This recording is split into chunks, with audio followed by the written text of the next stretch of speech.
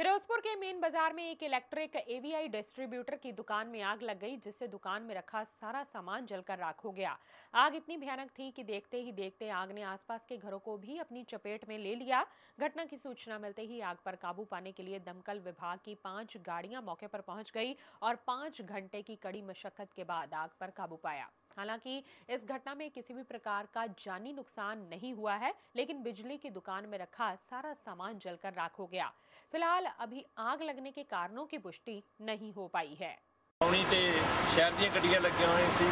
ਮੋਗਾ ਕੋਟਪੂਰਾ ਫਿਰੋ- ਫਰੀਦਕੋਟ ਤਿੰਨੇ ਗੱਡੀਆਂ ਹੋਰ ਬਣਾਈਆਂ ਗਈਆਂ ਲਗਾਤਾਰ ਸਖਤ ਮਿਹਨਤ ਤੋਂ ਬਾਅਦ ਅਸੀਂ ਅੱਗ ਤੇ ਕਾਬੂ ਪਾਇਆ ਹੈ। ਅੱਗ ਬਿਲਕੁਲ ਕੰਟਰੋਲੇਟ ਹੈ ਤੇ ਹੁਣ ਸਮਾਪਤੀ ਅੱਗ ਬਿਲਕੁਲ ਖਤਮ ਹੋ ਗਈ